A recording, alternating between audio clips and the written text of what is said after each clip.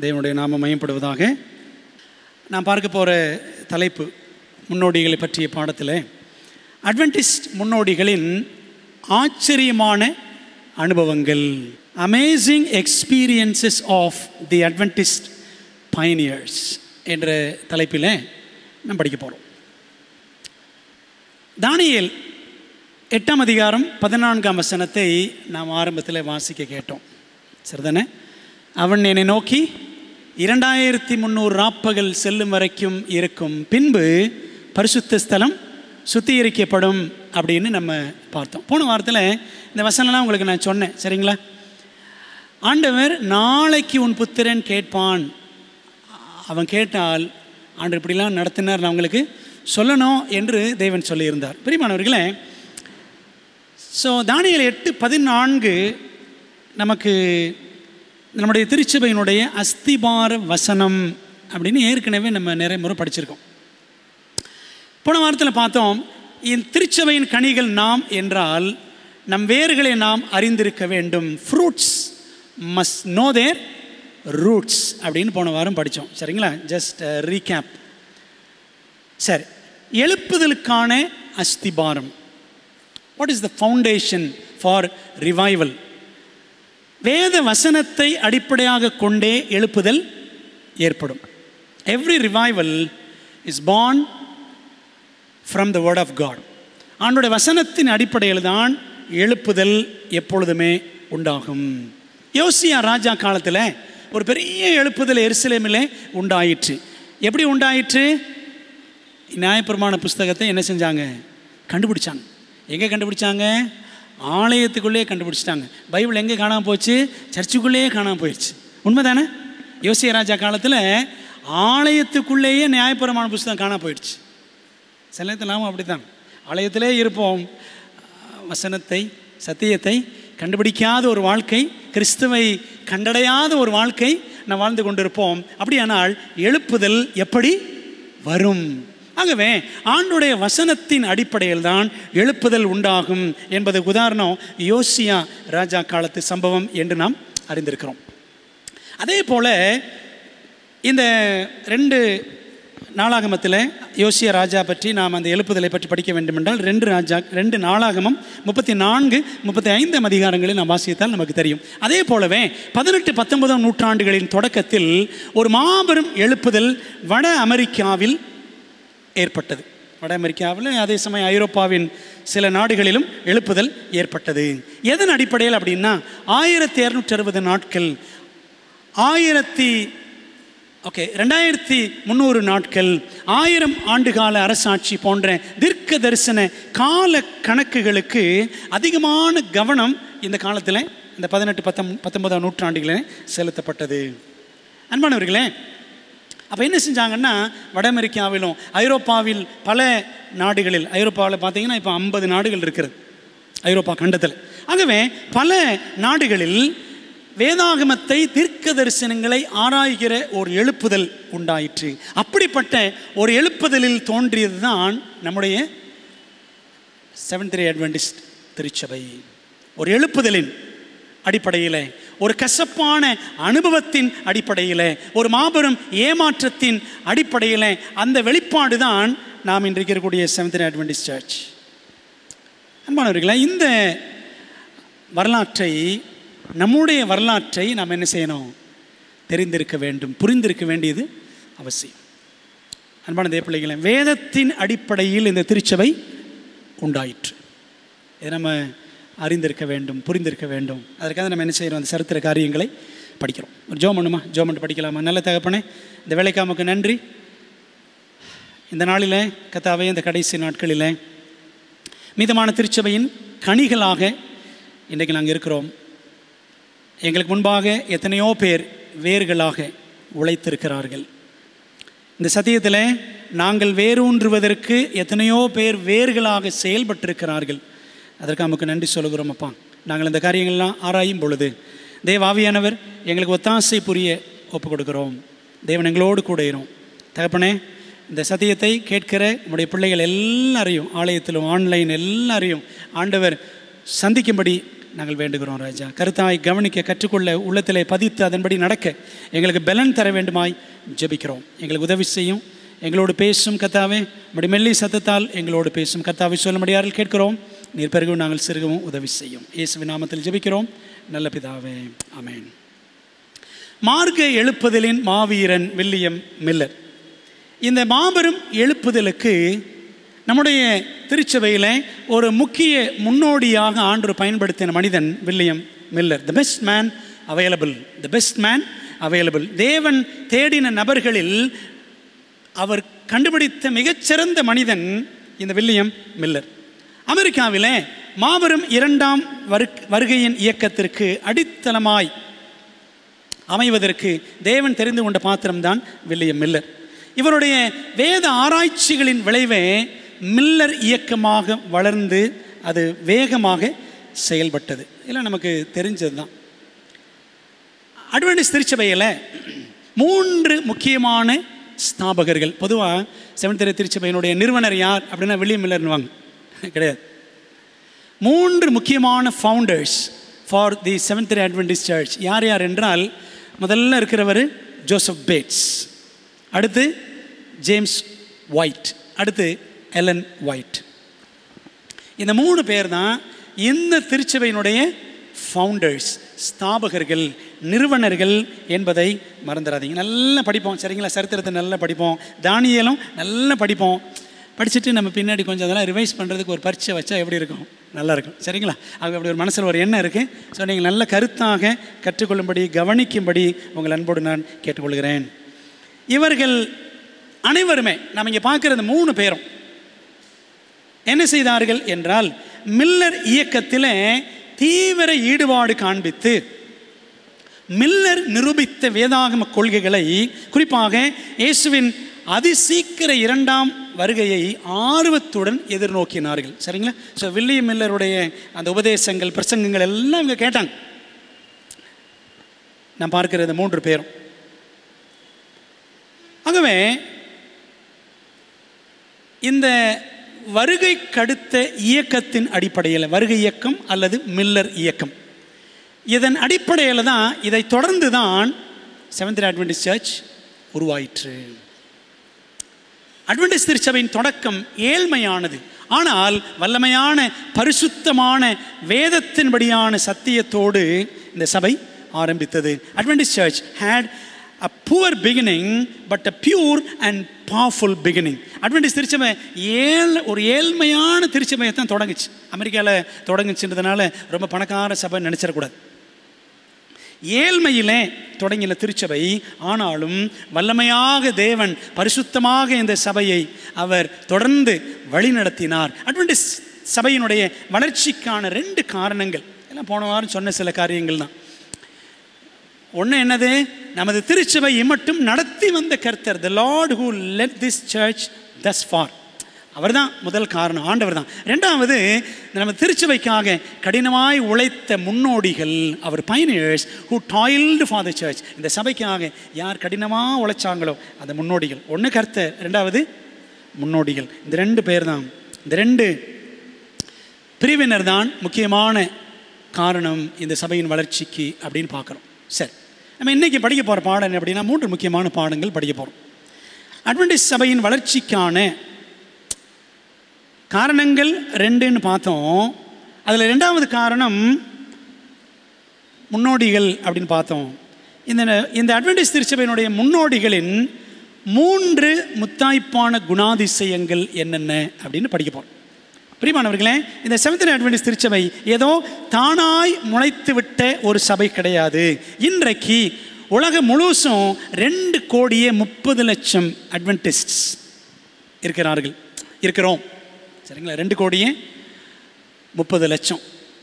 Twenty three millions என்று சொல்லலாம்.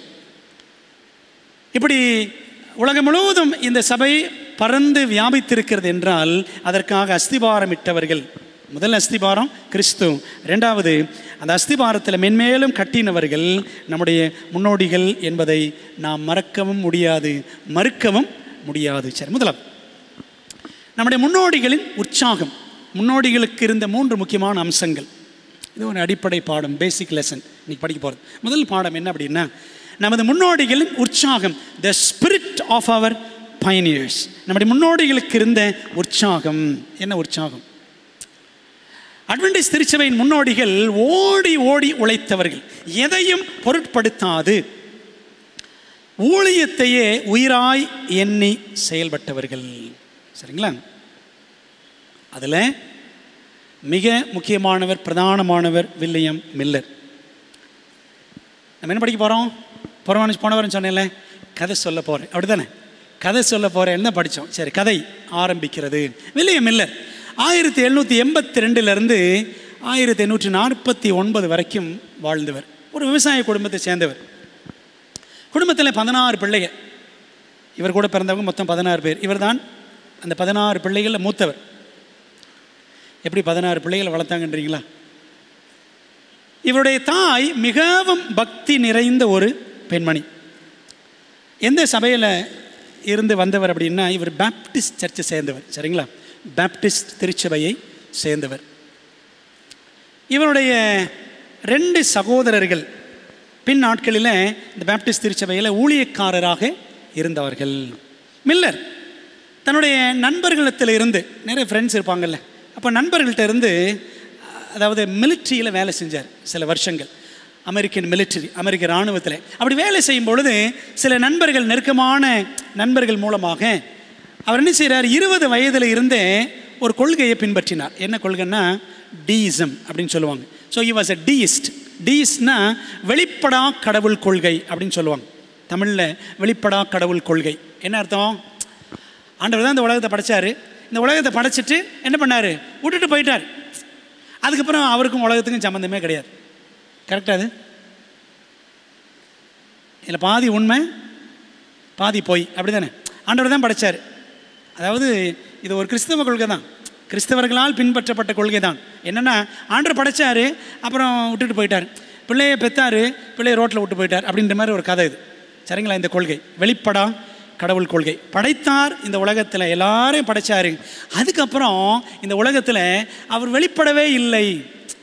அவருக்கு இந்த உலகத்துக்கும் சம்மந்தமே இல்லை. ஆனால் அப்படி பைபிள் சொல்லலை. ஆண்டவர் உன்னதத்திலிருந்து என்ன செய்கிறாரு எல்லாரையும் கண்ணோக்குகிறார். முப்பத்தி மூணாம் சங்கீதத்தில் ஒரே ஒரு உதாரணம் ஒரே ஒரு வசனம் மட்டும் உங்களுக்கு காண்பிக்க விரும்புகிறேன். முப்பத்தி மூன்றாம் சங்கீதம். அதில் பாருங்களேன்.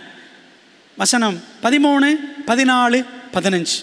இந்த மூணு வசனத்தை நல்லா படித்து பாருங்க. அந்த வசனம் எப்படி முடியுது? எப்படி முடியுது? பாருங்க பதிமூணாம் வசனம். கருத்தர் வானத்திலிருந்து நோக்கி பார்த்து எல்லா மனுபுத்திரரையும் காண்கிறார் அப்படின்னு முடியுது. பதினாலாம் வசனம் அவர் என்ன செய்கிறாராம்? பூமியின் குடிகள் எல்லார் மேலும் கண்ணோக்கமாக இருக்கிறார். பதினஞ்சாம் வசனம் அவருடைய இருதயங்கள் எல்லாம் அவர் உருவாக்கி அவர்கள் செய்களை செய்கைகள் எல்லாம் கவனித்திருக்கிறார். காண்கிறார் கண்ணோக்கமாக இருக்கிறார் கவனித்திருக்கிறார். அப்போது இந்த கொள்கை வெளிப்படா கடவுள் கொள்கை பயில்படி சரி கிடையாது. இந்த கொள்கையில் தான் வில்லியம் மில்லர் இருந்தார். கிட்டத்தட்ட ஒரு பத்து வருஷம் அந்த கொள்கையை தான் அவர் பின்பற்றினார். அப்போ பாருங்கள் இவர் போக போக காவல்துறையில் கான்ஸ்டபிளாக அப்புறம் வழக்கறிஞராக மேயராக இராணுவ வீரராக வார் கேப்டன் சரிங்களா? இராணுவ வீரராக பல பதவிகளை அவர் வகித்தார். உள்ளூர் மக்கள் எங்கன்னா அமெரிக்காவில் மேசச்சூசெட்ஸ் அவர் இருந்த இடம் மேசச்சூசெட்ஸ் என்ற ஒரு மாகாணம். அந்த மாகாணத்தில் எல்லாராலும் மிகவும் மதிக்கப்பட்ட ஒரு மனிதன் வில்லியம் மில்லர். அமெரிக்காவில் லோஹாம்டன் லோஹாம்டன் பேப்டிஸ்ட் சர்ச் என்ற திருச்சபைக்கு ஒரு வழக்கமாக போவாராம். ஆனால் ரெகுலராக போமா ரெகுலரானா வழக்கமாக என்றால் இவருடைய சகோதரியின் கணவர் எப்போல்லாம் நீங்கள் வரணும்? You should come for Bible reading Bible வாசிக்க வரணும் அப்படின்னா தான் போவார். ரெகுலரெல்லாம் சர்ச்சுக்கு போகிறதில்ல சரிங்களா? ஆனால் போகிற சர்ச் வந்து இந்த Baptist church Low Hampton Baptist church அங்கே இவருடைய சகோதரியின் கணவர் உடன் பிறந்த சகோதரியின் கணவர் சைலஸ் கில்ஃபர்ட் அவர் பேர். சைலஸ் கில்ஃபர்ட் என்பவர் போதகராக இருந்தார். அவரை தவிர வேறு யாராவது பிரசங்கம் பண்ணுறாருன்னு வேறு நிச்சயம் பண்ணுறாரு சர்ச்சுக்கு போக மாட்டார். சரிங்களா? அவர் பேசினா தான் போவார். அவருடைய சகோதரியின் கணவர். அதே சமயம் மேடை ஏறி பைபிள் வாசிக்கணும் அப்படின்னு போவார். ஒரு நாள் ஆலயத்தில் ஏச ஐம்பத்தி மூன்றாம் அதிகாரத்தை இவர் வாசிக்கணும் அப்படின்னு சொல்லி இவர் மேடை கூட்டு போனாங்க. அப்படி வாசிக்கும் பொழுது வாசிக்கிட்டே இருந்தார் வேத வாசிப்பு. அதை வாசிக்க வாசிக்க திடீரென்று உணர்ச்சி வசப்பட்டவராக அவர் கீழே உட்காந்துறார் வில்லியம் மில்லர். தேவனுடைய அன்பு அவரை தொட்டது. அந்த ஏச ஐம்பத்தி மூணு அதிகாரம் யாரை பற்றி பேசுகிறது? நம்ம எல்லாருக்கும் தெரியும். பாடுபடும் ஊழியக்காரன். த சஃபரிங் சர்வன்ட் ஏசு ஐம்பத்தி மூணு அதிகாரனாலே அதுக்கு பேர் த சஃபரிங் சர்வன்ட் பாடுபடும் ஊழியக்காரன். இயேசுவை பற்றி ஒரு தீர்க்க தரிசனம் அதை வாசிக்கும் பொழுது உள்ளம் தொடப்பட்டவராக அவர் என்ன பண்ணார்? தேவ அன்பை அவர் உணர்ந்தார். இயேசுவானவர் இப்படியெல்லாம் பாடுபட்டிருக்கிறார் என்பதை அவர் உணர்ந்தார். ஏசு ஐம்பத்தி மூணாம் அதிகாரம் படித்து நிறைய பேர் ஆண்டவரை ஏற்றுக்கொண்டிருக்கிறார்கள். அதில் ஒருத்தர் வில்லியம் மில்லர் என்பதை நம் மனதிலே வைத்துக்கொள்ள வேண்டும். அப்போ என்ன செய்கிறாரு வேதத்தின் மீது ஒரு ஆர்வம் பிறக்கிறது. வேத ஆராய்ச்சியை ஆரம்பிக்கிறார். வேதாகமத்தை ஆதியாமத்திலிருந்து வசனம் வசனமாக அவர் தனித்தனியாக பிரித்து படித்து ஆராய ஆரம்பித்தார் நல்ல பயில் படிப்பாராம். ஆனால் அந்த வெளிப்படா கடவுள் கொள்கையை நம்பின வரைக்கும் என்ன செய்யலை? பைபிளை அவர் சரியெல்லாம் படிக்கலை. ஆனால் ஏசு ஐம்பத்தி மூணாம் அதிகாரத்தை வாசித்ததுக்கு பிறகு அவர் வேதாமத்தை படிக்க ஆரம்பித்தார் ஒரு வசனம் புரிஞ்சாதான் அடுத்த வசனத்துக்கு போவார். அப்படி படித்தார் அவர் வில்லியம் மில்லர். வேதத்தை முதல்ல ரெண்டு ஆண்டுகள் ஆராய்ச்சி செய்தார். ஆயிரத்தி எண்ணூற்றி பதினாறுலேருந்து ஆயிரத்தி எண்ணூற்றி பதினெட்டு வரைக்கும் ஆராய்ச்சி செய்தார். அந்த ஆராய்ச்சியில் அவர் சொன்னார் வேதாகமம் இப்பொழுது எனக்கு பிரதான பாடமாக மாறிவிட்டது. நான் அதை மாபெரும் மனமகிழ்ச்சியுடன் ஆராய்ந்தேன் என்பதை உண்மையாக சொல்ல முடியும். வேதத்தின் அழகையும் மகிமையையும் முன்பே நான் காணாமல் போனது ஏன்? ஏன்? முதல்ல அந்த புஸ்தகத்தினுடைய அழகை நான் கண்டுபிடிக்கலையே. மற்ற அனைத்தையும் வாசிப்பதில் இருந்த சுவையை நான் இழந்து போனேன் அப்படின்னு சொல்கிறார் மற்றதெல்லாம் படிச்சுக்கிட்டு இருந்தேன். ஆனால் பைபிள் படிக்க ஆரம்பித்த உடனே மற்ற புஸ்தகங்கள் மீது இருந்த டேஸ்ட் எனக்கு போயிடுச்சு. என்று அதை மாபெரும் போராட்டம் புத்தகத்தில் எலன் ஒயிட் பக்கம் நானூற்றி மூன்றில் அவர் எழுதுகிறார்கள். அது மட்டுமல்ல வேதாகமம் வேதாகமம் ஒன்று மட்டுமே என்பது அவரது கொள்கையை குறிக்கும் சொல்லாக இருந்தது. இதே கொள்கை யாருக்கு இருந்துச்சு? மாற்றி நூத்தருக்கு இருந்துச்சு. இவருக்கும் அதே கொள்கைதான் பைபிள் அண்ட் பைபிள் அலோன் என்று இவரும் பின்பற்ற ஆரம்பித்தார். அது மாபெரும் போராட்டம் பக்கம் நானூற்றி இருபத்தி அஞ்சில் வாசிக்கிறோம். வில்லியம் மில்லருக்கு ஏறக்குறைய இரநூறு ஆண்டுகளுக்கு முன்பாக வாழ்ந்தவர் மார்ட்டின் லூத்தர். அவரும் சோலா ஸ்கிரிப்சரா.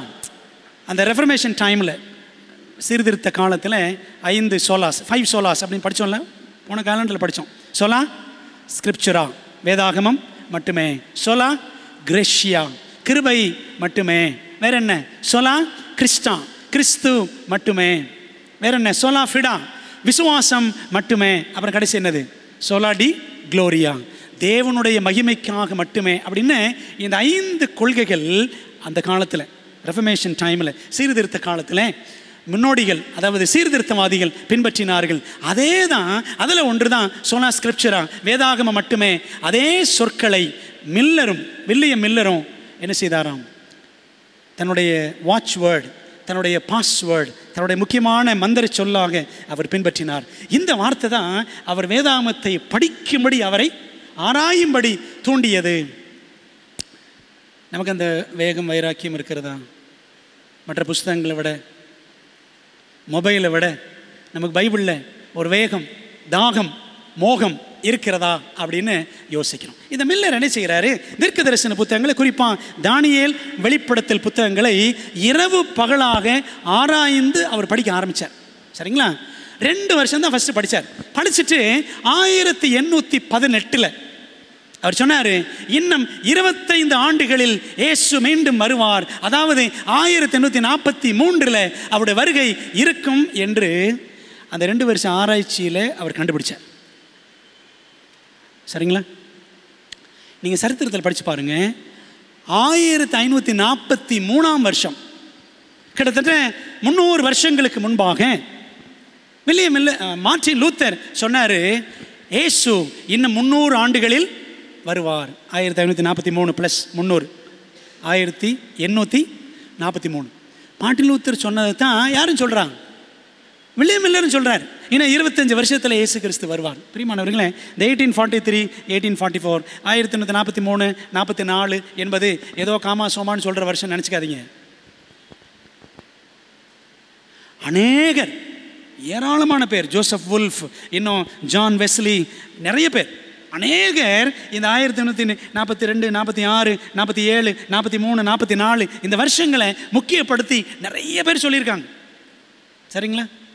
சும்மா ஏதோ செவன்த் சர்ச் மட்டும்தான் சொல்லுது ஆயிரத்தி எண்ணூற்றி நாற்பத்தி நாலு அப்படின்னு நம்ம நினைக்கூடாது முக்கியமான வருஷம். மாட்டின் லூத்தராக தான் சொன்னார். வில்லியம் மில்லரும் அதான் சொல்கிறார் சரி. அப்போ இவருக்கு என்ன எண்ணம்னா சரி இப்போ கண்டுபிடிச்சிருக்கோம் ரெண்டு வருஷம் பைபிள் ஆராய்ச்சி பண்ணி இன்னும் இருபத்தஞ்சு வருஷத்தில் இயேசு கிறிஸ்து வருவார். இது கரெக்டு தானே? திரும்ப படிப்போம். அப்படின்னு என்ன செஞ்சாராம்?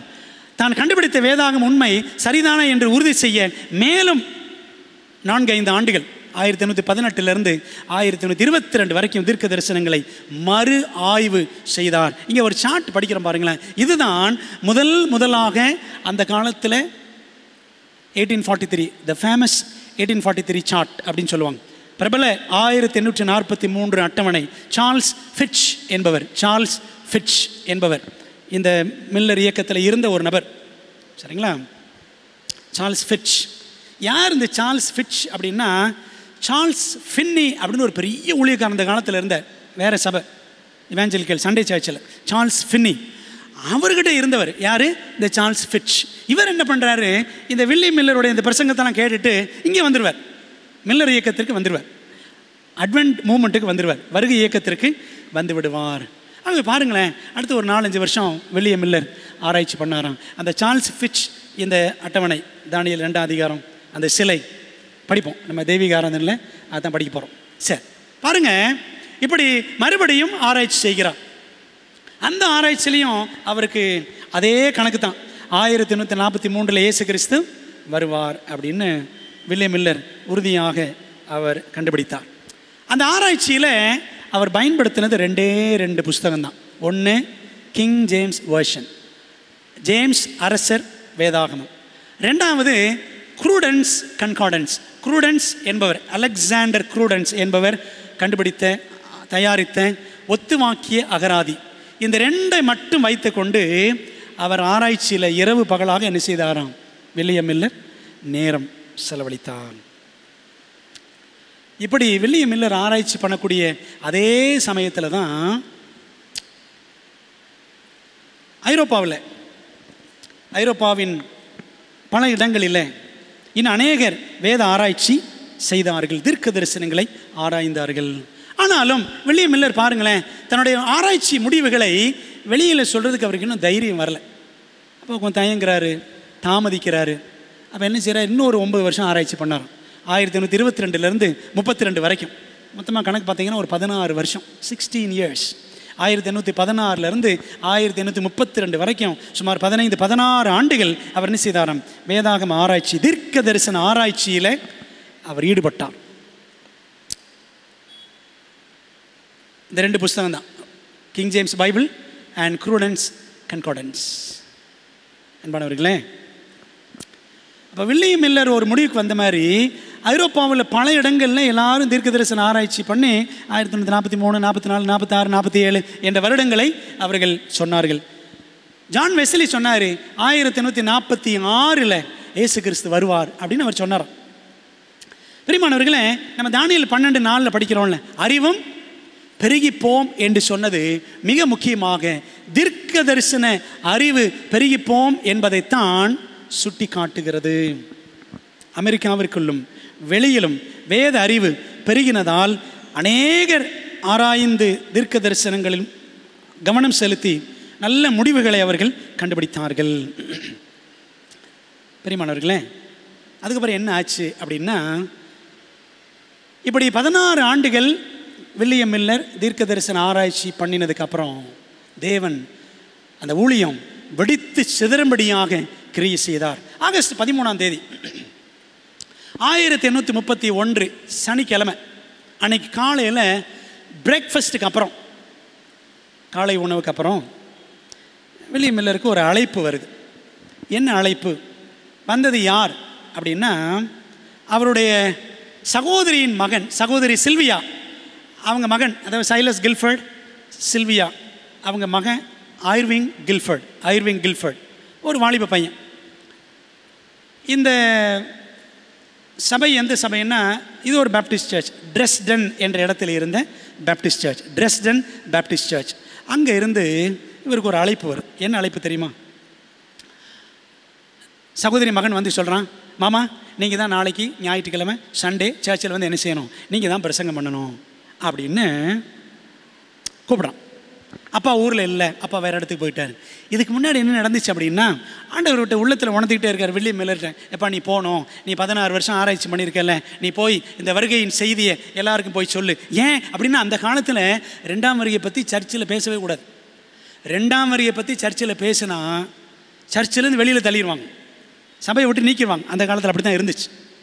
அப்போ பாருங்கள் இவர் ப்ரேயர் பண்ணுறாரு ஆண்டவரே என்னால் பிரசங்கெல்லாம் பண்ண முடியாது ஆண்டவரே. நான் பாஸ்ட்டுக்கெல்லாம் படிக்கலை. பைபிள் காலேஜெல்லாம் படிக்கலை. அப்படி இப்படின்னு ஆண்டவர்கிட்ட சொல்லிக்கிட்டே இருந்தான். ஆண்டவர் சொன்னார் இல்லை நீ போகணும் போகணும் அப்படின்ற அப்போ ஒரு ஒரு தீர்மானம் பண்ணாராம். ஆண்டவரே நானாக போக மாட்டேன் தோட்டத்தில் பின்னாடி வீட்டில் தோட்டத்தில் இருந்து ப்ரே பண்ணிருந்தாரன் முழங்கால் போட்டு.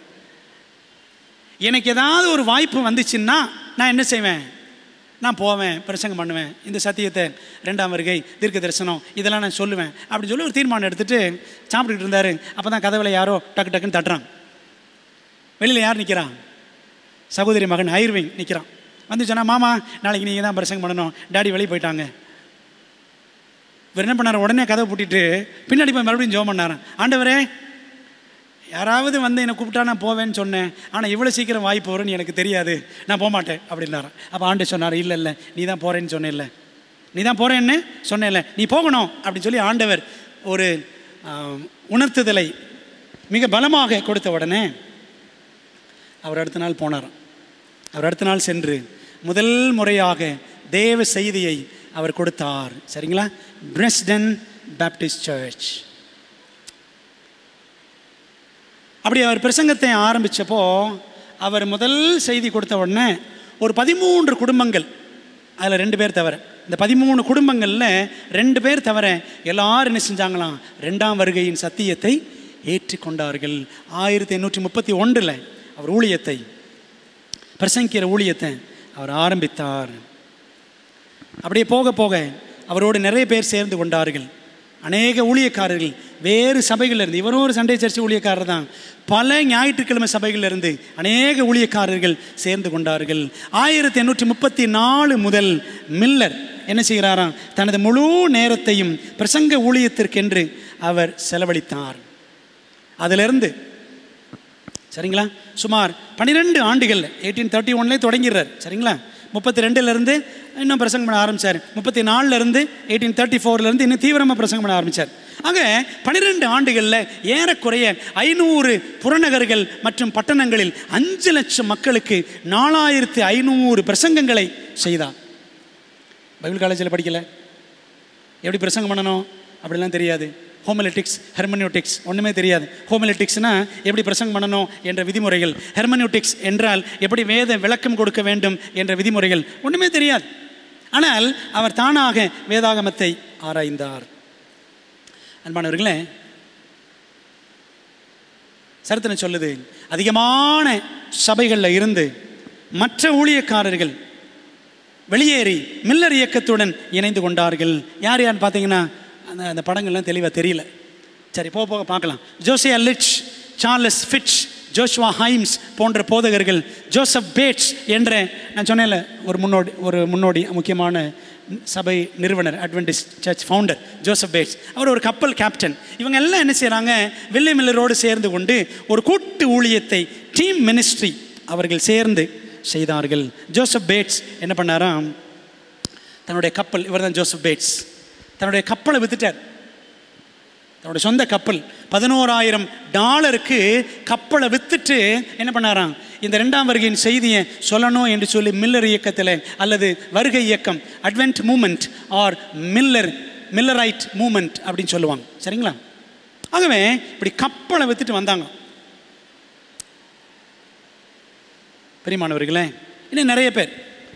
இவர்கள் எல்லாரும் இணைந்து ஆயிரத்தி எண்ணூற்றி நாற்பத்தி மூணு நாற்பத்தி நாலு ஆகிய ரெண்டு ஆண்டுகளில் மட்டும் அந்த ரெண்டு வருஷத்தில் மட்டும் நூற்றி முப்பது முகாம் கூட்டங்கள் முகாம் கூட்டங்கள் கேம்ப் மீட்டிங்ஸ் அப்படின்னா படைமுயற்சி கூட்டங்கள் நம்ம சொல்கிறோம்ல எஃபர்ட் மீட்டிங்ஸ் அந்த கூட்டங்களை நடத்தி அஞ்சிலிருந்து பத்து லட்சம் மக்களுக்கு ரெண்டாம் வருகையின் செய்தியை அறிவித்தார்கள் அப்படின்னு சரித்திரம் சொல்லுது. சரிங்களா? இன்னும் நிறைய பேர் வீடுகளை விற்று ஆடு மாடுகளை விற்று நிலங்களை விற்று அறுவடைக்கு தயாராக இருந்த நிலப்புலன்களில் இருக்கக்கூடிய பயிர்களை அறுவடை செய்யாமல் அப்படியே விட்டுவிட்டு விற்று விட்டு வித் விட்டு விட்டு விற்க வேண்டியதெல்லாம் விற்றாங்க விட வேண்டியதெல்லாம் விட்டாங்க. ஸோ விற்று விட்டு விட்டு விட்டு என்ன செஞ்சாங்களாம் மில்லர் இயக்கத்தில் எல்லாரும் சேர்ந்து கொண்டார்கள். இது பெரிய கதை. போப்போ கொஞ்சம் கொஞ்சமாக படிப்போம். இந்த வெள்ளி மில்லருடைய ஆத்ம பாரம் பாருங்களேன் அவர் இடத்துல இந்த ஜோஷுவா ஹைம்ஸ் ஜோஷுவா ஹைம்ஸ் யாருன்னா இந்த வில்லியம் மில்லருக்கு மூளை அவர்தான்.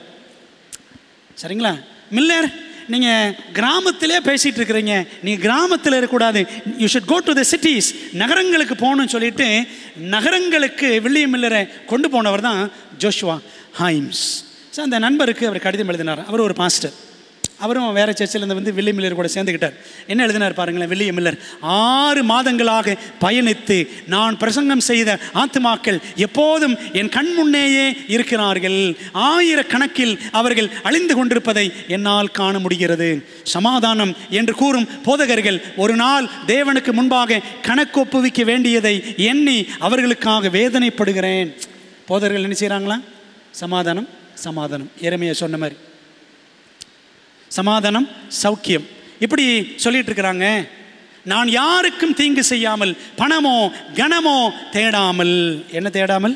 பணமோ கனமோ தேடாமல். ஐந்து லட்சம் மக்களுக்கு பனிரெண்டு ஆண்டுகளில் நாலாயிரத்து ஐநூறு பிரசங்கங்களை செய்து அவரே சொல்றார் நாலாயிரத்து ஐநூறு பிரசங்கங்களை செய்தது எப்படியாகிலும் சிலரை ரட்சிப்பதற்காகவே என்று தன் நண்பர் ஜோஷ்வா ஹைம்ஸுக்கு வில்லியம் மில்லர் எழுதினார். என்ன செய்கிறோம் ஏதாவது செய்கிறோமா ஆண்டவருக்காக என்பதை சிந்திக்கணும். மார்ச் இருபத்தி ஒன்று ஆயிரத்தி எண்ணூற்றி நாற்பத்தி மூன்று அல்லது மார்ச் இருபத்தி ஒன்றில் இருந்து அங்கே கொஞ்சம் மாறி இருக்கு. மார்ச் இருபத்தொன்று ஆயிரத்தி தொண்ணூற்றி நாற்பத்தி மூணு அதில் இருந்து ஏப்ரல் இருபத்தி ஒன்று ஓகே நெக்ஸ்ட் இயர் அது March twenty one eighteen forty four correct தான். சரிங்களா? அந்த ஒரு வருஷத்துக்குள்ளே ஆண்டவர் இயேசு கிறிஸ்து என்ன செய்வார்? அவருடைய வருகை இருக்கும் என்று துரிதமாக பிரசுரித்தும் அதாவது பேப்பர் கைப்பிரதிகள் சின்ன சின்ன குட்டி குட்டி புக்லெட்ஸ் இந்த மாதிரி அடித்து செய்தித்தாள்களில் பிரசுரம் பண்ணி பிரசங்கம் பண்ணி என்ன செஞ்சாங்களாம்? இந்த ஒரு வருஷத்துக்குள்ளே எயிட்டீன் ஃபார்ட்டி த்ரீ மார்ச் இருபத்தி ஒன்றுலேருந்து எயிட்டீன் ஃபார்ட்டி ஃபோர் மார்ச் இருபத்தி ஒன்று. இந்த ஒரு வருஷத்துக்குள்ளே கிறிஸ்து எப்பொழுது வேண்டுமானாலும் வரலாம்னு சொல்லி அப்படி ஒன்று ரெண்டு முறை காத்திருந்தாங்க. சரிங்களா? அதனால தான் அதெல்லாம் சின்ன சின்ன ஏமாற்றங்கள் அப்படின்னு சொல்லுவாங்க.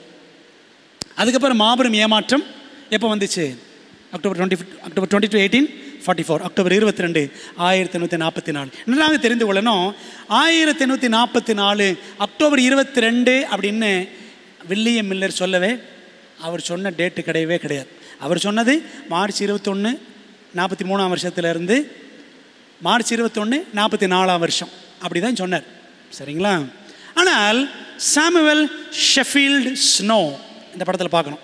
இவர்தான் யூத கேலண்டர் மற்றும் பாவ நிவாரண நாளின் வழிமுறைகள் பண்டிகைகள் இதெல்லாம் வைத்து ஆராய்ந்து இயேசு கிறிஸ்து அக்டோபர் இருபத்தி ரெண்டு ஆயிரத்தி எண்ணூற்றி நாற்பத்தி நாலில் ரெண்டாம் முறையாக வருவார் என்று அவர் திட்டவட்டமாக சொன்னார். சாமுவல் ஸ்னோ அப்படின்னு நம்முடைய சரித்திரம் சொல்லுகிறது. பிரிமானவர்கள் என்ன பார்க்குறோன்னா நம்முடைய முன்னோடிகள் வேதத்தை ஆராய்ந்தது போல அவங்களுக்கு இருந்த அந்த உற்சாகம் ஸ்பிரிட் ஆஃப் அவர் பைனியர்ஸ் இன்றைக்கி நம்ம பார்த்தீங்களா ஒரு அதிகாரம் படிக்கிறதுக்குள்ள நமக்கு ரொம்ப கஷ்டமாக இருக்கும். உண்மை தானே கொஞ்ச நேரம் ஒரு பத்து நிமிஷம் ஜோம் பண்ணுறதுக்குள்ள ஏதோ பத்து மணி நேரம் தான் நம்ம கடந்து வந்த மாதிரி நமக்கு தெரியும். ஆனால் நம்ம முன்னோடிகள் எவ்வளோ தீவிரமாக இருந்திருக்கிறாங்க. நம்ம முன்னோடிகள் வேதத்தை ஆராய்ந்தது போல் ஆராய்கிறோமா? அவர்கள் செய்த ஊழியத்தை போன்று நாமும் செய்கிறோமா? ரெண்டாவது பாடம். முன்னோடிகளுடைய மூன்று முத்தாய்ப்பான குணாதிசயங்களில் ரெண்டாவது நம்முடைய முன்னோடிகளின் தியாகம் the sacrifice of our pioneers என்ன தியாகம் பண்ணாங்க? அப்படின்னு பார்க்கணும். அதை பற்றி எலன் வைட் சொல்கிறாங்க பாருங்களேன். தற்காலத்தில் ஊழியத்தில் நுழைபவர்கள் நமது திருச்சபையின் ஆரம்ப காலத்தில் ஊழியம் செய்தவர்கள் காண்பித்த தர்த்தியாகும் மற்றும் சுய மறுப்பை பற்றி குறைவாகவே அறிந்திருக்கிறார்கள். இப்போ ஊழியத்தில் இருக்கவங்களுக்கு ஊழியம் செய்கிறவங்களுக்கு அந்த காலத்து முன்னோடிகள் காண்பித்த செல்ஃப் சாக்ரிஃபைஸ் சுய தியாகம் செல்ஃப் டினாயல் சுய மறுப்பு எனக்கு இது வேண்டாங்க இதை ஊழியத்தை கொடுத்துருவோம் அப்படின்னு கொடுக்குற தன்மை. இதெல்லாம் குறைவாகவே நாம் அறிந்திருக்கிறோம். கடந்த காலத்தின் அனுபவம் அவர்களுக்கு மறுபடியும் மறுபடியும் சொல்லப்பட வேண்டும். எல்மைட் எழுதுறாங்க கடந்த காலத்தின் உண்மை ஊழியர்கள் பெற்றிருந்த அதே தாழ்மை மற்றும் தர்த்தியாகம் ஆகியவற்றுடன் அவர்களும் ஊழியத்தை செய்ய வேண்டியது இருக்கிறது. எப்படி நம்ம ஊழியம் செய்யணுமா? அவங்ககிட்ட இருந்த அந்த தர்த்தியாகம் அவங்ககிட்ட இருந்த தாழ்மை அவங்ககிட்ட இருந்த அந்த சுய மறுப்பு இந்த காரியங்களோடு நாம் ஊழியம் செய்யணும். ரிவியூன் ஹெரல்டு ஜூன் மூணு ஆயிரத்தி தொள்ளாயிரத்தி ரெண்டில் அவங்க எழுதியிருக்கிறாங்க. பிரிமான தேவ நம்ம நம்முடைய முன்னோடிகள் அப்படி என்ன தியாகம் பண்ணியிருக்கிறாங்க அப்படின்னு பார்த்தோம்னா நிறைய தியாகம் பண்ணியிருக்கிறாங்க. அதில் மிக பிரதானமான தியாகம் முக்கியமான தியாகம் என்ன அப்படின்னா தங்களை வாலிப பருவத்திலேயே தேவனுக்கென்று தங்களை அர்ப்பணித்தார்கள் வாலிப பருவத்தில். எயிட்டீன் ஃபார்ட்டி டூ ஆயிரத்தி எண்ணூற்றி நாற்பத்தி ரெண்டில் பிரசங்கம் பண்ண தொடங்கின பொழுது ஜேம்ஸ் ஒயிட்டுக்கு இருபத்தோரு வயசு. அவர் பின்னாட்களை திருமணம் பண்ணினாரே? எலன் ஒயிட் அவங்க முன்னாடி பேர் வந்து Ellen Harmon Ellen Gould Harmon அப்போ எலன் எத்தனை வயசில் இதில் வந்து சேர்ந்தாங்க அப்படின்னா மில்லர் இயக்கத்தில் ஒரு பதிமூணு பதினாலு வயசு. சரிங்களா? பதினேழு வயசில் எலன் ஒயிட் ஆயிரத்தி எண்ணூற்றி நாற்பத்தி நாலில் தரிசனம் பெற்றப்போ முதல் தரிசனம் பெற்றப்போ பதினேழு வயசு. ஷி வாஸ் வெரி யங் சின்ன வயசு. ஜான் ஆண்ட்ரூஸ் அவர் ஆயிரத்தி தொண்ணூற்றி நாற்பத்தி ஒம்போதில் இந்த சத்தியத்துக்கு வந்தப்போ பதினேழு வயசு. ஆனி ஸ்மித் ஆனி ஸ்மித் பதினாறு வயசு. சரிங்களா? அந்த பொண்ணு இருபத்தி முப்பது வயசுல இறந்துருவான் சரிங்களா? படிக்கலாம்.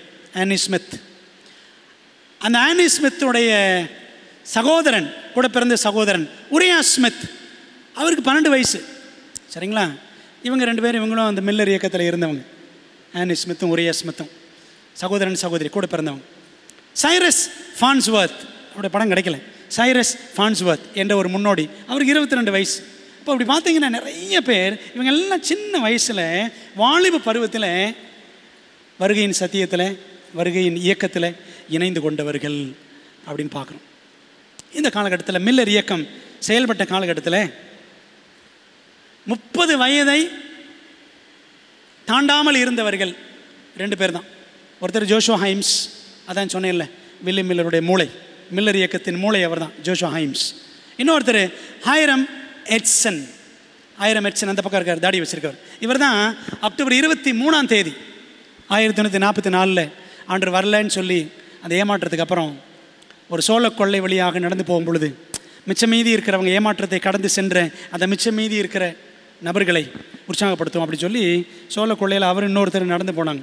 ஹைரம் எட்சனும் இன்னொரு நபரும் ஓவரல் குரோசியர் குரோசியர் என்ற நபர். ரெண்டு பேரும் போயிட்டு இருந்தாங்க. அப்போது இந்த ஹைரம் எட்சனுக்கு தான் தேவன் தரிசனம் கொடுத்தார். என்ன தரிசனம்? ஆண்டு இயேசு கிறிஸ்து பரிசுத்தலத்திலிருந்து பரலோக மகா பரிசுத்தலத்திற்கு பரலோகத்தின் பரிசுத்தலத்திலிருந்து மகா பரிசுத்தலத்துக்கு மாறக்கூடிய காட்சியை தரிசனமாக அவர் கண்டார்.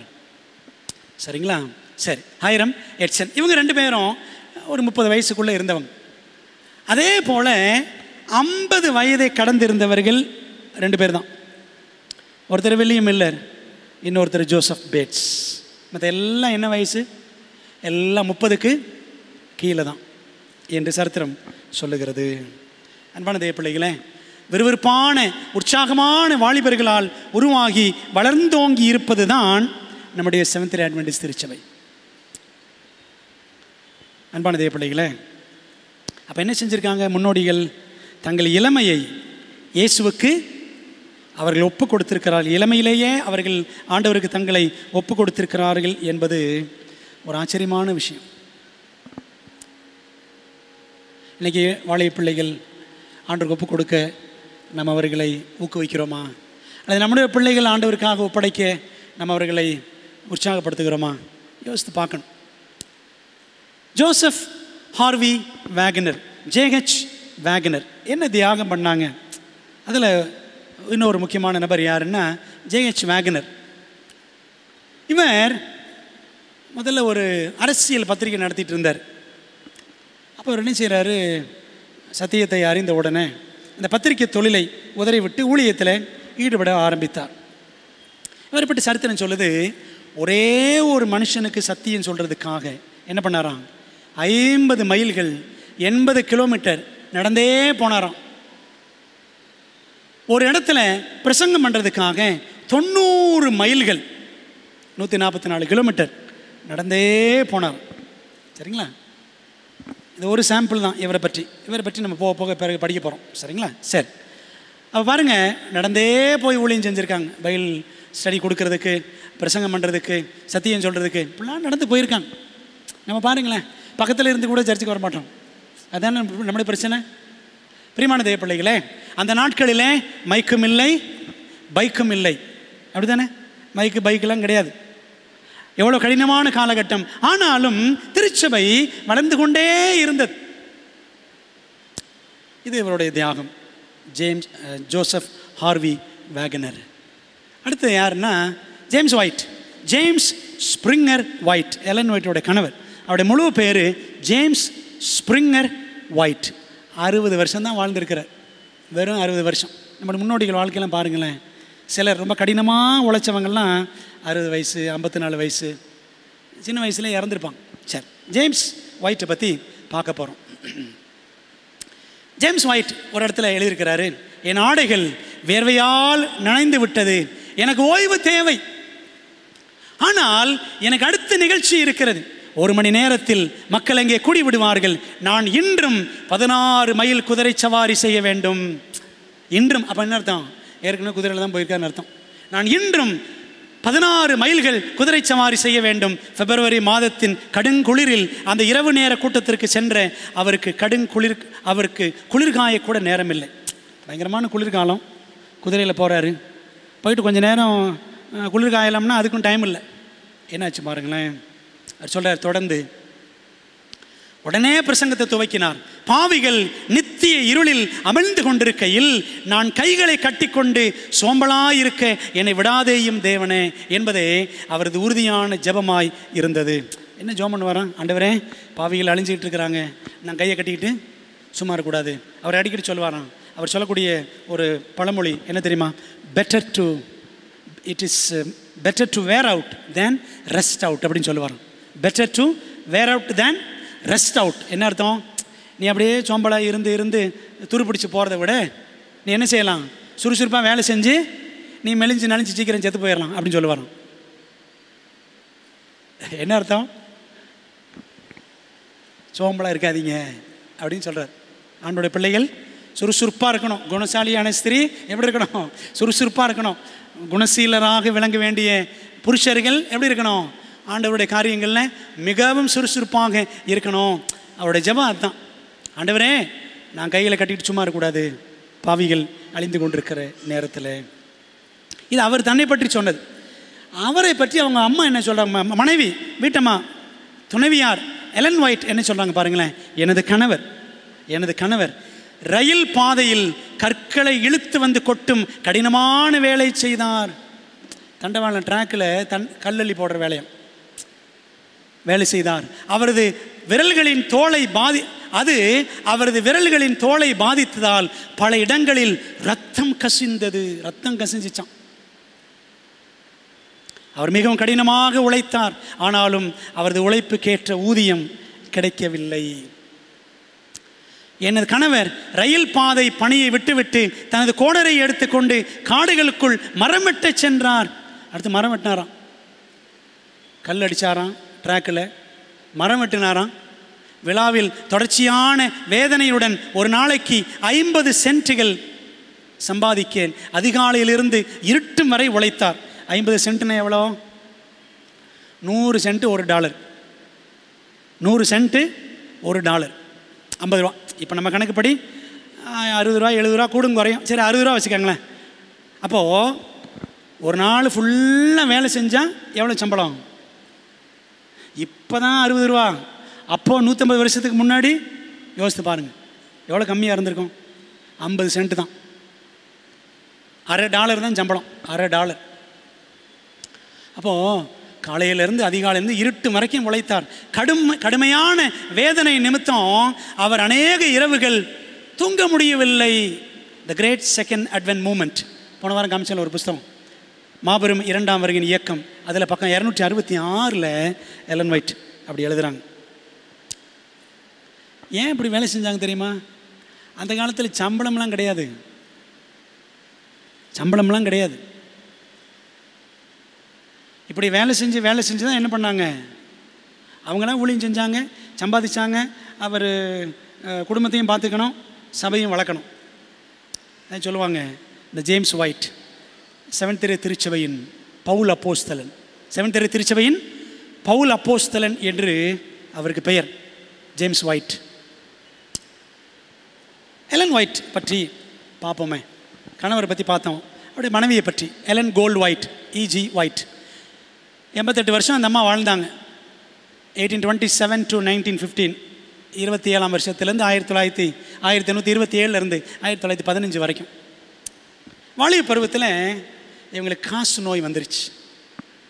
நமக்கு தெரியும்ல ஒன்பது வயசுலேயே ஒரு பெண் என்ன பண்ணா ஸ்கூலில் இருக்கிற ஸ்கூல் முடிஞ்சு வீட்டுக்கு போகிற வழியில் ஒரு சக மாணவி பதிமூணு வயசு மாணவி அவள் ஒரு சிடுசிடுப்பான ஒரு மாணவி கல்லை விட்டு அடிச்சிருவான் அந்த கல்லை முகத்தில் பாதித்து முகத்தில் மூக்கில் அடித்து மயங்கி விழுந்துருவாங்க எலன் எலன் ஹார்மன் அப்போது சின்ன வயசுலேயே ஏற்பட்ட அந்த பாதிப்பு அவங்களுக்கு கடைசி வரைக்கும் இருந்துச்சு. அப்போ ரெண்டாவது படித்து படித்து முடிச்சிருக்கிற டைம் மூணாவது படிச்சுட்டு இருக்கிறான் இந்த ஆக்சிடென்ட் நடக்கும் பொழுது கல் மூக்கில் அடிபட்ட சமயம். அப்போ அந்த ஆக்சிடெண்ட்டுக்கு அப்புறம் பாதி படிப்பு என்ன செய்கிறாங்க மூணு வயசில் அதாவது மூணாம் வகுப்பு படிக்கும் பொழுது பாதியிலேயே நிறுத்திடுறாங்க. தேர்ட் ஸ்டாண்டர்ட் டிஸ்கண்டினியூடு அவ்வளோதான் அவங்க குவாலிஃபிகேஷன் அவ்வளோதாங்க ரெண்டாம் படித்தாங்க மூணாவது பாதி தான் சரிங்களா? ஆனால் அப்படி ஒரு பெண்ணைத்தான் ஆண்டவர் ஊழியத்துக்கு அழைச்சார். முதல்ல ரெண்டு ஆண்கள் அழைச்சார். அவங்க மாட்டேன்ட்டு போயிட்டாங்க. அப்புறம் மூணாவது தேவன் ஒரு பெண்ணை அழைத்தார். அவங்க தான் யார்? எலன். கோல்டு. ஹார்மன். அப்படின்னு பார்க்குறோம். சரிங்களா? இந்த எலன் பிறந்தப்போ அவங்க குடும்பத்தில் எட்டு பிள்ளைய. அவங்க குடும்பத்தில் Robert Harmon Robert Harmon Eunice Harmon கணவன் மனைவி. எட்டு பிள்ளைய. கடைசி ரெண்டு பிள்ளைங்க ரெட்டை பிள்ளைய. சரிங்களா? எலன் ஒயிட்டும் இன்னொரு சகோதரி எலன் எலிசபெத் ரெண்டு பிள்ளை. அப்போது குடும்பத்தில் அவங்க அப்பா என்ன வேலை செய்வார்னா வேறு சர்ச் இவங்க வந்து இவங்க வந்து மெத்தரிஸ் சர்ச் ஜான் வெஸ்லி அந்த சபை அந்த சபையை சேர்ந்தவங்க மெத்தடிஸ்ட் சபை. அவங்க அப்பா என்ன வேலை செய்வார்னு பார்த்தீங்கன்னா எலன் ஒயிட்டோட அப்பா தொப்பி செய்கிற வேலை தொப்பி செய்கிற தொப்பி உற்பத்தியாளர். சரிங்களா? தொப்பி வேலை செஞ்சு என்னங்க காசு வந்துடும் அப்படி குடும்பத்தில் அவங்க இருந்தாங்க. அதிலிருந்து ஆண்டவர் மில்லரைட் இயக்கத்திற்கு கொண்டு வந்தார். வருகையின் சத்தியத்திற்கு கொண்டு வந்தார். மூக்கில் தாக்கம் ஏற்பட்டு மூன்று வாரங்கள் சுயநினைவு இல்லாமல் கடந்து மரணத்தின் தருவாய்க்கு சென்றதால் வந்தவங்களும் சொன்னாங்க இந்த பிள்ளை பிழைக்காதுங்க இந்த பிள்ளை செத்து போயிடும் எல்லாம் அடக்கம் பண்ண ரெடி பண்ணுங்க அப்படின்னாங்களாம். எலனுக்கு அந்த ஒம்பது வயசில். சரிங்களா? பெரியமானவர்களே ஆனால் தேவன் எலனை தொட்டார். எல்லாரும் ஜோம் பண்ணாங்க. உயிரோட்டம் உண்டானது அதுக்கப்புறம் அதுக்கப்புறம் எழுபது ஆண்டுகள் இடைவிடாமல் ஊழியம் செய்கிறதுக்கு தேவன் அந்த பலவீனமான பெண்மணியை பயன்படுத்தினார். எலன் எலன் வயிற்றுக்கு என்ன பேர் அப்படின்னா சிறப்பு பெயர் the weakest of the weak அவங்க பேர் அதுதான் the weakest of the weak பலவீனமானவர்களிலெல்லாம் பலவீனமானவர் அப்படின்னு அவங்களுக்கு ஸ்பெஷல் டைட்டில் அதுதான் the weakest of the weak சரிங்களா? ஆண்டவர் பலவீனமானவர்களையும் ஊழியத்தில். ஆண்டவர் பெரிய பெரிய ஞானிகள் வல்லவர்கள் பிரபுக்கள் அநேகர் என்ன செய்யலை? தெரிந்து கொள்ளலை. யாரை தெரிந்து கொண்டார்? ஒன்றுக்கு வந்து ஒன்றாதிகாரம் இருபத்தாறு இருபத்தேழு படிக்கிறோம்ல? பலவீனமானவர்களையும் அற்பமாக எண்ணப்பட்டவர்களையும். ஞானிகள் இல்லை பைத்தியங்கள். இப்படிப்பட்டவங்களை ஆண்டு அழைச்சார். அதில் ஒரு நபர் தான் எலன் ஒயிட் என்று நம்ம சரித்திரத்தில் படிக்கிறோம். இவங்களுடைய குடும்பம் எலன் ஒயிட்டோடைய குடும்பம் பார்த்தோம்னா ஜேம்ஸ் ஒயிட் எலன் ஒயிட் இவனுக்கு நாலு ஆம்பளை பிள்ளை நாலு ஆம்பளை பிள்ளை. அதில் ஒரு பையன் மூத்த பையன் பதினாறு வயசில் செத்துருவான். பதினாறு வயசில் இறந்துருவான். கடைசி பையன் நாலாவது பையன் கிட்டத்தட்ட ஒரு ஒரு வயசு ஒன்றரை வயசு இருக்கும்பொழுது கை குழந்தையாக இருக்கும்பொழுது செத்து போயிடும் ரெண்டு ஆம்பளை பிள்ளை. சரிங்களா? ரெண்டே ரெண்டு பிள்ளைகள் தான் உயிரோடு இருந்தாங்க. பிறந்த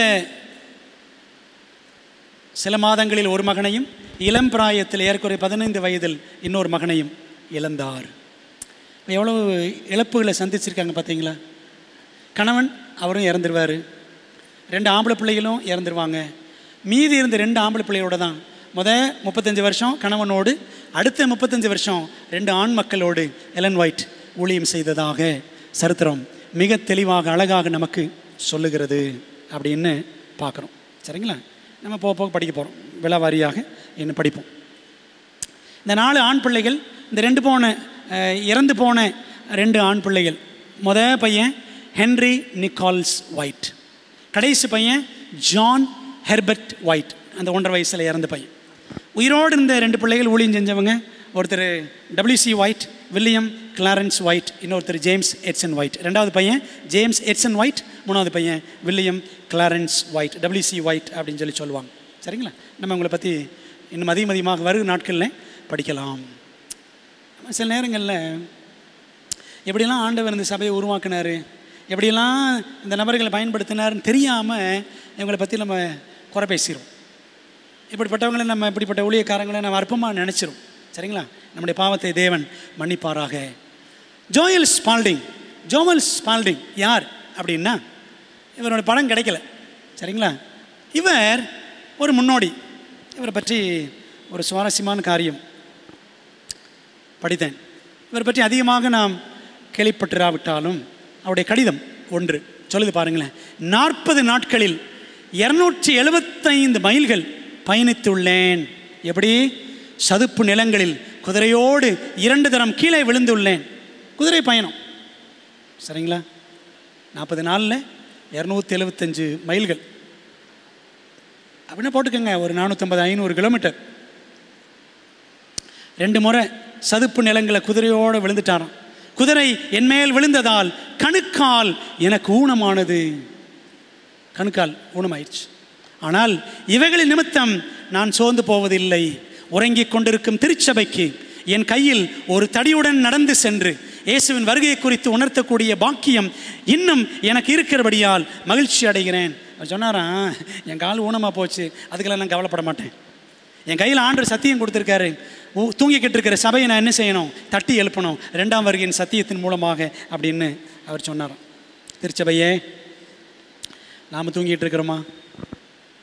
என்பதை நம்ம சிந்திக்கணும்.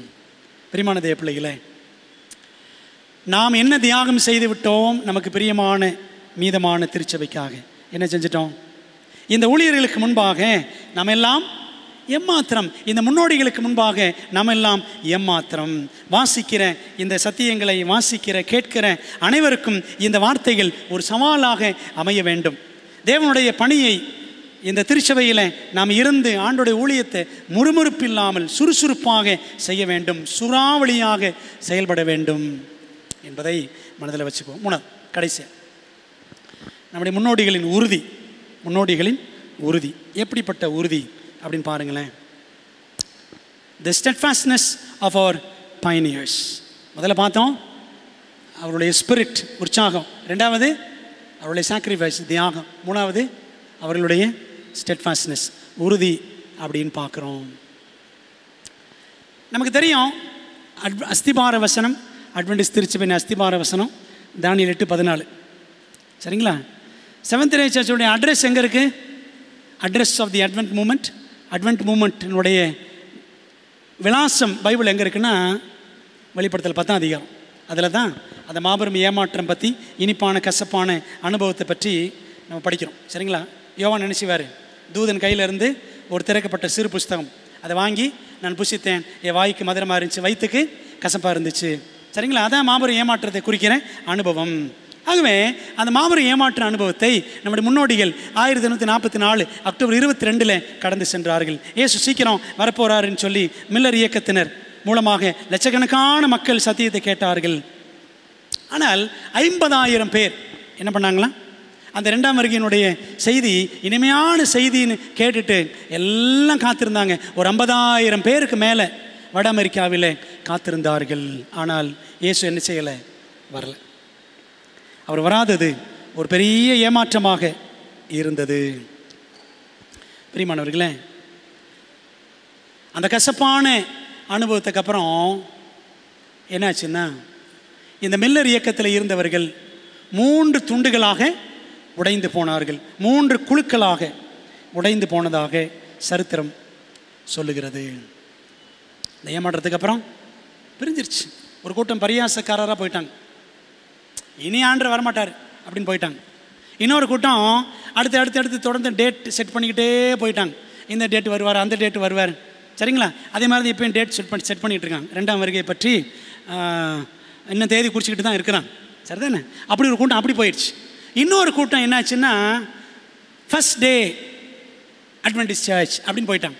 ஃபஸ்ட் டே முதலாம் நாள். அட்வென்டிஸ் திருச்சபைன்னு ஞாயிற்றுக்கிழமை ஆசிரியர் சபையாக போயிட்டான்.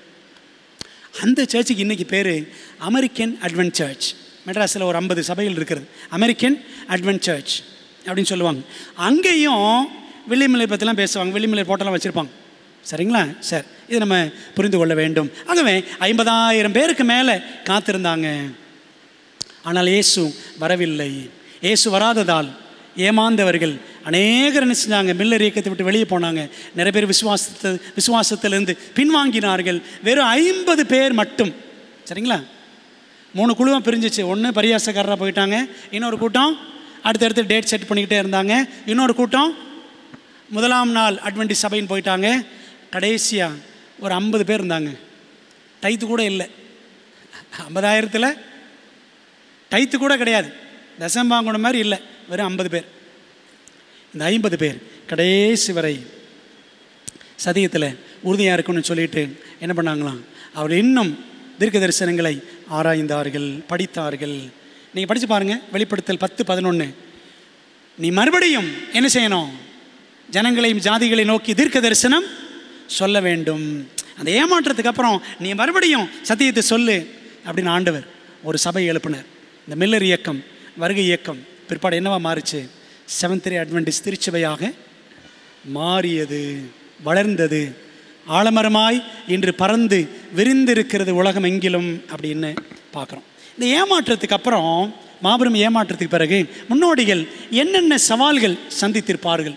அப்படின்னு கொஞ்சம் யோசித்து பாருங்களேன். என்னென்ன சவால்கள்? ஏளனங்கள் வந்திருக்கும்ல. நிறைய பேர் கிண்டல் பண்ணாங்களாம். நீங்கள் என்ன போகலையா? மேலே போகலையா? எலியாவை பார்த்துட்டு எலியா மேலே போனார்ல அதை பார்த்துட்டு எலிசா பற்றி கிண்டல் பண்ணாங்கல்ல மொட்டத்தலையா மொட்டத்தலையா நீ ஏறி போ அப்படின்னு சொன்னாங்கல்ல. ரெண்டு ராஜாக்கள் ரெண்டாம் அதிகாரம். அதே மாதிரி நிறைய பேர் நம்முடைய முன்னோடிகளை கேலி பண்ணாங்களாம். நீங்கள் போகலையாக்கும்? அப்படின்னு சொல்லி கிண்டல் பண்ணாங்க. ஏளனங்கள் ஏச்சு பேச்சுகள் பரியாசங்கள் மற்றும் நிந்தனைகள் எல்லாம் முன்னோடிகள் சந்தித்தார்கள். சரிங்களா? எப்படி மறுபடியும் நண்பர்கள் முகத்தில் விழிப்பது? எப்படி நண்பர் நண்பர்களை பார்க்கறது? எங்கே போய் தங்குறது? நிறைய பேர் வீடுகள்லாம் வித்துட்டாங்க. விட்டு வந்த சபைகளில் மறுபடியும் எப்படி போய் சேர்றது? சொத்து சுகம் நிலப்படன்கள் தோட்டம் துறவு எல்லாத்தையும் விற்றுட்டோமே என்ன செய்கிறது பிரியமான தேவ பிள்ளைகளை இதெல்லாம் பயங்கரமான பரியாச சூழ்நிலை. எப்படிப்பட்ட பரியாசம்? இன்னும் நீங்கள் மேலே போகலையா? எப்போ போகலான்னு ஐடியா? கேட்ப கேட்டிருப்பாங்களே எப்போ போகலான்னு ஐடியா? அடுத்து என்ன டேட்டு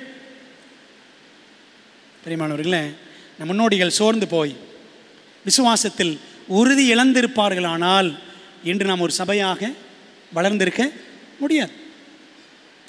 ஏன் ஏமாற்றம்? ஏன் ஏமாற்றம்? பிரிமான தேவ ஒரு பெரிய ஏமாற்றம் தான். ஆனால் இந்த ஏமாற்றம் ஏன் வந்தது அப்படின்னு நம்ம படிச்சிருக்கோம். போன காலாண்டு பாடங்களில் நம்ம படித்தோம் ஆரம்ப காலகட்டத்தில் வில்லியம் மில்லர் ஆனாலும் சரி மில்லர் இயக்கத்தை சேர்ந்தவர்கள் சேராதவர்கள் எல்லாருமே தானியில் எட்டு பதினாலு பின்பு பரிசுத்த ஸ்தலம் சுத்திகரிக்கப்படும். எது நினச்சிட்டாங்க பரிசுத்த ஸ்தலம்? பூமின்னு நினச்சிட்டாங்க. சரிங்களா? பூமி தான் பரிசுத்த ஸ்தலம். ஆண்டு ரெண்டாம் ஒரு வரும்பொழுது இந்த பூமியை அவர் அக்னினால் சுட்டரிச்சிருவார். அப்போ அந்த காலத்தில் பரலோகம் அங்கே ஒரு பரிசுத்த ஸ்தலம் இருக்குது பரலோகத்தில் ஒரு பரிசுத்த ஸ்தலம் இருக்குன்ற உண்மை யாருக்குமே தெரியல. சரிங்களா? அதை பற்றி அவர்கள் கவனம் செலுத்தாமல் போய்விட்டார்கள். பெரியமானவர்களே அப்போ அதனால் இந்த பரலோக ஆசிரியப்பு கூடாரம் பற்றி ஒரு தெளிவு அவர்களுக்கு இல்லாததுனால தான் அந்த ஏமாற்றம் அந்த பரலோக ஆசிரியப்பு கூடாரம் இதை பற்றி அவங்களுக்கு தெரியல. ஆண்டர் என்ன செஞ்சாராம்? மாபெரும் போராட்டத்தில் படிச்சிருக்கலாம். ஆண்டர் என்ன செஞ்சாராம்? அதை அவங்க காணாதபடி அதை மறைத்தார் அப்படின்னு படித்தோம் பிரியமானவர்களே ஆகவே பூமிதான் பரிசுத்த ஸ்தலமாக கருதப்பட்டது. வில்லியம் மில்லர் பல ஆண்டுகளாக போட்ட கணக்குகளில் தவறே கிடையாது. சரிங்களா? அவர் போட்ட கணக்கில் தப்பே கிடையாது. Date was correct but the event was wrong அதாங்க. தேதி சரி சம்பவம் தான் தவறு. சம்பவம் என்ன நினச்சாங்க? இயேசு கிறிஸ்து எங்கே வருவார்? பூமிக்கு வருவார் நினச்சாங்க. ஆனால் அந்த நாளில் அக்டோபர் இருபத்தி ரெண்டு ஆயிரத்தி எண்ணூற்றி நாற்பத்தி நாலில் ஒரு சம்பவம் நடந்துச்சு. இவங்க எதிர்பார்த்த சம்பவம் ஏசு பூமிக்கு வருவார். ஆனால் ஏசு எங்கேருந்து வந்தார்? எங்கேருந்து எங்கே போனார்? பரிசுத்தலத்திலிருந்து மகா தலத்துக்கு போனார். சரிங்களா? தானியல் எட்டு பதினாலுக்கு விளக்கம். தானியேல் ஏழு பதிமூணு. சரிங்களா? மறுபடியும் சொல்கிறேன் தானியேல் எட்டு பதினாலுக்கு விளக்கம். தானியல் ஏழு பதிமூணு. நீண்ட ஆயுசுலவர் இருக்கிற இடம் மட்டும் அந்த மனுஷகுமாரனுக்கு ஒப்பானவர் கொண்டு வரப்பட்டார். அப்படின்னு படிப்போம். சரிங்களா? பைபிள் பதில் அந்த கே- அந்த ரெண்டாயிரத்தி முந்நூறு ஆப்புகளுக்கான பதில் பைபிளில் இருக்குது அதை ஆண்டவர்கள் காணாதபடி மறைத்து போட்டார். சரிங்களா? சரிங்களா? ஆகவே தேதிகளில் எந்த தவறும் இல்லை. சம்பவம் மட்டுமே மாறி நிகழ்ந்தது. இயேசு பூமிக்கு வரல. எங்கேருந்து எங்கே வந்தார்? பரலோகத்தின் பரிசுத்தலத்திலேருந்து மகா பரிசுத்தலத்தில் அவர் கடந்து சென்றார். நியாய தீர்ப்பை நுட்ப நியாய விசாரணையை தொடங்கினார் என்று நமக்கு தெரியும். பிரிமான தேவ பிள்ளைகளே சரி. அதை பார்த்துட்டோம். இந்த வசனங்கள் எல்லாம் நீங்கள் படித்து பாருங்கள் இந்த மாபெரும் ஏமாற்றத்தை கடந்து வந்தவர்கள் அவங்க என்ன சொன்னாங்க பாருங்களேன்? எழுதுகிறாரு. ஜான் ஆண்ட்ரூஸ் சொல்கிறார் பாருங்கள் நாங்கள் ஏமாற்றம் அடைந்தோம் ஆனாலும் சோர்வடையவில்லை. நாங்கள் குழப்பம் அடைந்தோம் ஆனாலும் எங்கள் விசுவாசத்தை விட்டுவிடவில்லை. எங்களது வெளியேற பெற்ற விசுவாசத்திற்கு ஏற்ப நாங்கள் வாழ்ந்தோம். வெளியேற பெற்ற விசுவாசத்திற்கு ஏற்ப வாழ்ந்தோம். மேசியாவை எதிர்பார்த்து யூத சபை ஏமாற்றம் அடைந்தது. மேசியா வருவார் வருவார்னு யூத சபை ஏமாந்துச்சு. இஸ்ரவேலுக்கு ராஜ்யத்தை மீட்டு ரட்சிப்பார் என எதிர்பார்த்து சீஷர்களும் ஏமாற்றம் அடைந்தனர். சீஷர்கள் ஏமாந்துட்டாங்கல்ல? அவர் எங்களை ரட்சிப்பாருன்னு நினச்சோம். அவர் இன்னைக்கு செத்து போய் மூணு நாள் ஆச்சு அப்படின்னாங்கல்ல? சீஷர்களுக்கு பெரிய ஏமாற்றம். ஆகவே ஏமாற்றம் என்றால் தமது ஜனங்களை தேவன் தம் கரமம் கொண்டு நடத்தவில்லை என்று அர்த்தமல்ல. அவர்கள் தங்கள் பிள்ளைகளை திருத்திக் கொண்டு தேவன் மீது வைத்துள்ள நம்பிக்கையை விட்டுவிடாதபடி காத்துக்கொள்ளவே அந்த ஏமாற்றம் அவர்களை வழி நடத்த வேண்டும். சரிங்களா? ஏமாற்றம்னா ஏதோ ஆண்டு கைவிட்டார் அப்படின்னு அர்த்தம் கிடையாது. அந்த ஏமாற்றத்தில் எங்கே தவறணும்? கண்டுபிடிச்சு. மறுபடியும் என்ன செய்யணும்? விசுவாசத்தில் முன்னேறி செல்லணும். The great second advent movement பக்கம் நூற்றி எண்பத்தி ஏழு நூற்றி தொண்ணூற்றி ஆறில் ஜான் ஆண்ட்ரூஸ் அப்படி சொல்லியிருக்கிறார். பிரிமான தேவ பிள்ளைகளே அப்போ பாருங்களேன் இந்த ரெண்டாம் வருகை என்பது நம்முடைய திருச்சபைக்கு ஆண்டவர் வேதாமத்திலே கொடுத்திருக்கிற உலகத்திற்கே கொடுத்திருக்கிற மகிமையான ஒரு நம்பிக்கை. நாம் நம்பி இருக்கிற ஆனந்த பாக்கியத்திற்கும் மகாதேவனும் நமது ரட்சகரமாக இருக்கிற இயேசு கிறிஸ்தனுடைய மகிமையின் பிரசன்னமாகுதலுக்கும் எதிர்பார்த்து கொண்டிருக்கும்படி நமக்கு போதிக்கிறது என்று தீர்த்து ரெண்டு பதிமூணில் வாசிக்கிறோம். அப்போ முன்னோடிகள் இந்த ரெண்டாம் வரைக்கும் எதிர்பார்த்துருந்தாங்க. ஆகவே மீதமானவர்களில் மீதமானவர்களின் மீதமான நாமும் நம்முடைய முன்னோடிகளின் வரிசையில் நின்று இயேசுவின் வருகையை நாம் எதிர்நோக்கி இருக்கிறோம். சத்தியத்துக்காக நிற்கும்போது பரியாசங்கள் வரும். பரியாசக்காரருக்கு இவ்வுலகிலும் திருச்சபையிலும் பஞ்சமே கிடையாது. சொல்லுவாங்க சொல்லுவாங்க ஐயா இவங்கெல்லாம் சனிக்கிழமைக்காரவங்க. சொல்லுவாங்கல்ல சனிக்கிழமை சனிக்கிழமை. உலகமே ஞாயிற்றுக்கிழமை போகுது. பரியாசம் பண்ணுவாங்க. ஆனால் நாம் அதை பொருட்படுத்தக்கூடாது. என்ன பைபிள் சொல்லுது பாருங்கள் முதலாவது நீங்கள் அறிய வேண்டியது என்னவெனில் கடைசி நாட்கள் பரியாசக்காரர் வந்து தங்கள் சுய இச்சைகளின்படியே நடந்து அவங்க நினைச்சுவாங்க தங்கள் சுய இச்சைகளின்படியே நடந்து அவர் வருவார் என்று சொல்லுகிற வாக்கு தத்தம் எங்கே? பிதாக்கள் நித்திரடைந்த பின்பு சகலமும் சிருஷ்டிப்பின் தோற்றம் முதல் இருந்த விதமாக இருக்கிறதே என்று சொல்லுவார்கள். ரெண்டு பேர் மூணு மூணு நாள். அப்படியே தானே இருக்கு. ஆண்டர் எங்கே வந்தார்? பிரயாசம் பண்ணுவாங்க.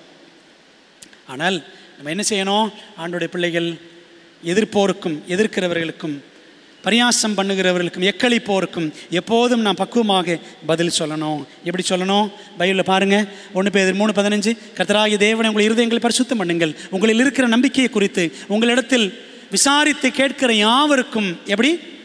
சாந்தத்தோடும் வணக்கத்தோடும் உத்தரவு சொல்ல எப்பொழுதும் ஆயத்தமாயிருங்கள். அப்படின்னு படிக்கிறோம். நம்மகிட்ட யாராவது நீங்கள் எந்த சர்ச்சுன்னு கேட்டால் என்ன சொல்லணும்?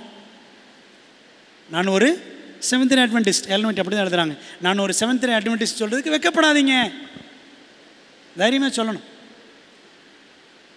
என்று எழுதுறாங்க.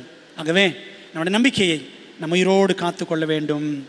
நம்முடைய வெளிச்சம் பிரகாசிக்க வேண்டும். பிரிமான தேவ பிள்ளைகளை நம்முடைய வழிகாட்டியான கர்த்தர் திருச்சபையின் வழிகாட்டியான கர்த்தர் எப்படியெல்லாம் நடத்தி வந்திருக்கிறார் அவர் ஆச்சரியமானவர். இந்த சரித்திரம் நம்முடைய சொந்த குடும்பத்தின் சரித்திரம். நம்முடைய திருச்சபையின் சரித்திரம். ஆகவே நம்ம என்ன பண்ணணும்? இதை நாம் அறிந்து கொள்ளணும். மற்றவங்களுக்கு நம்முடைய பிள்ளைகளுக்கு சக விசுவாசிகளுக்கு அறிவிக்கணும்.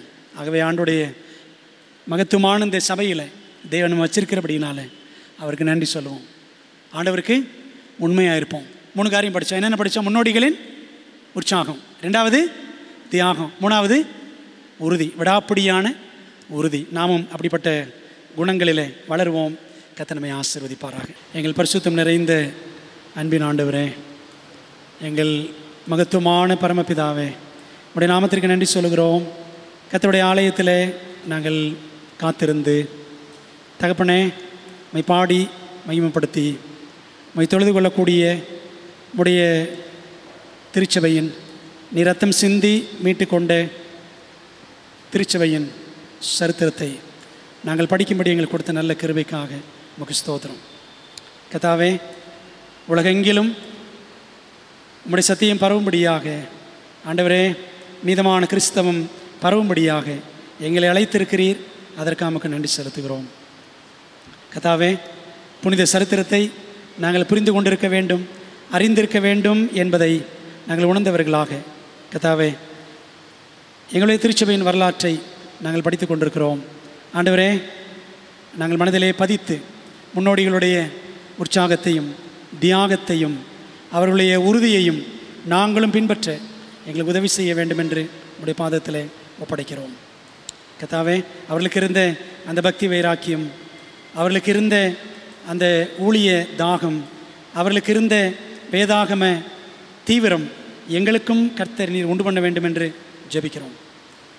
கத்தாவே உடைய வருகையை எதிர்நோக்கி சமீபமாய் வர காத்திருக்கிற நாங்கள் கத்தாவே நாங்கள் இன்னும் அதிகம் அதிகமாக முடித்தில் கிட்டி செய்கிற எங்களுக்கு கிருவி செய்யும். இந்த ஓய்வு நாளில் உடைய வார்த்தைகளை கேட்டுக்கொண்டிருக்கிற எல்லா பிள்ளைகளையும் ஆண்டவர் ஆசீர்வதிப்பீராக. தகப்பனே இந்த சத்தியங்கள் எல்லாம் நாங்கள் படிக்கும் பொழுது எங்கள் இருதயம் கொழுந்து விட்டு எரியட்டும் ஆண்டவரே. எங்களை ஒப்புக் கொடுக்குறோம். முன்னோடிகள் பணமோ கனமோ தேடாமல் கத்தாவே உம்முடைய சத்தியத்தை நித்திய இருளில் அமிழ்ந்து கொண்டிருக்கிற பாவிகளுக்காக சொ- சொல்லுவதற்கு விரைந்து சென்றார்களே. ஆண்டவரே அந்த வேகத்தை எங்களுக்கும் கொடுங்க. இந்த உலகத்தையும் உலகத்தில் உள்ளவைகளையும் நாங்கள் நாடி தேடாமல் ஆண்டவரே உன்னதமான காரியங்களில் மேலானவைகளில் கவனம் செலுத்துகிறவர்களாக நாங்கள் விளங்குவதற்கு கருவி செய்யும். எங்கள் ஜெபத்தை ஏற்றுக்கொள்ளும். ஆசீர்வதித்து அனுப்ப வேண்டும் ஓய்வு நாள் காலையில். நம்முடைய சமூகத்தில் வந்து பணிந்து தொழுது கொண்டு கத்தாவே நம்முடைய மகத்துவங்களை கற்றுக்கொள்ள. எங்களுக்கு கிருபி செய்து. உம்மண்டை எங்களை நெருங்கி சேர எங்களுக்கு அனுகிரகம் செய்யும்படி இயேசு நாமத்தில் ஜெபிக்கிறோம். ஜெபங்கேலும் நல்ல பிதாவே அமேன் என் ஆத்மாவே கத்திரி ஸ்தோத்ரி. என் முழு உளமையோட பரிசுத்த நாமத்தை ஸ்தோத்ரி. என் ஆத்மாவே கத்திரி ஸ்தோத்ரி. அவர் செய்த சகல உபகாரங்களையும் மறவாதே. அமேன் நம்முடைய கத்தராக இருக்கிற இயேசு கிறிஸ்துவின் கிருபையும் பிதாவாகி தேவனுடைய அன்பும் ஆவியானவரின் ஐக்கியமும் ஆசீர்வாதமும் தேவதூதர்களின் பாதுகாப்பும் வழி நடத்தலும் நம்ம எல்லாரோடும் என்றும் என்றும் சதாக்காலம் தங்கியிருப்பதாக. அமேன்